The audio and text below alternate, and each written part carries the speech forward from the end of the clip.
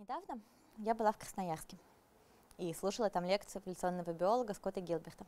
Это один из основателей эволюционной биологии развития, известный как Эва. И все было бы хорошо, но у этой лекции был перевод.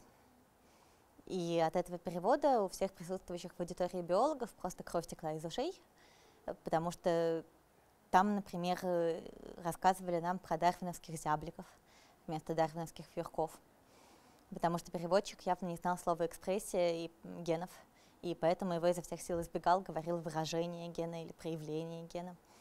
Э, там был известный эмбриолог Байер, который впоследствии, как выяснилось, был известным эмбриологом, действительно известным Карлом фон Бером и так далее.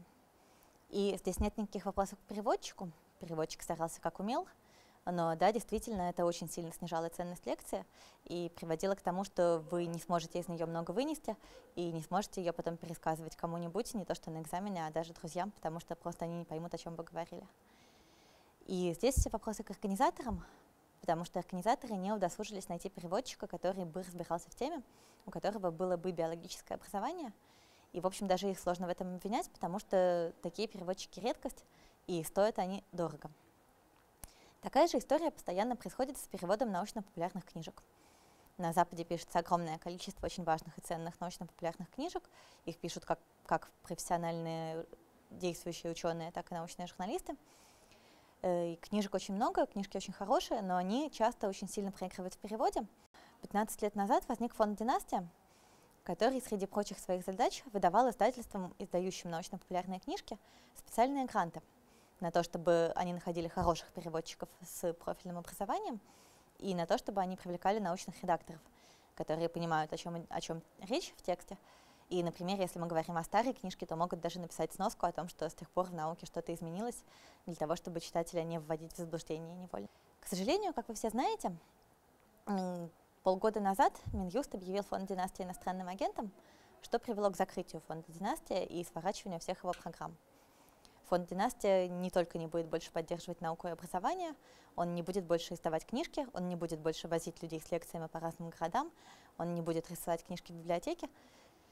В связи с этим создалась группа активистов. Но все эти люди, к сожалению, заинтересованы в том, чтобы была общественная поддержка, э, потому что сами мы не справимся.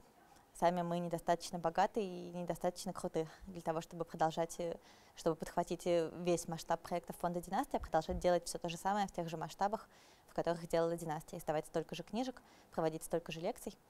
Э, нам важно понимать, есть ли у общества запрос на это, и если запрос у общества на это есть, то хорошо, чтобы общество тоже как-то участвовало в деятельности фонда. Речь идет, с одной стороны, об информационной поддержке, о том, чтобы вы про этот новый фонд, который называется «Эволюция», кому-нибудь рассказывали о том, что он хороший, что это последователи фонда династии. Э, с другой стороны, финансовая поддержка тоже будет уместна. У нас будет сбор средств на сайте Планета. Э, ну и, в общем, если вы хотите как-то еще нам помогать, э, работать, участвовать, лекции читать, книжки писать, то приходите, пишите, мы открыты для любых предложений.